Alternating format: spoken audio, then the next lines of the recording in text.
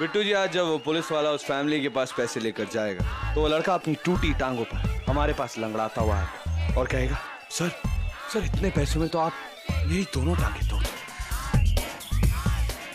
हाँ बिट्टू जी और आप बिना बात के टेंशन ले रहे हो। All, आरके के होते हुए टेंशन लेना मतलब आरके की तौहीन करना। सर तौहीन करोगे बिट्टू जी? सर ऐसा हो सकता है sir. Smile sir I am already smiling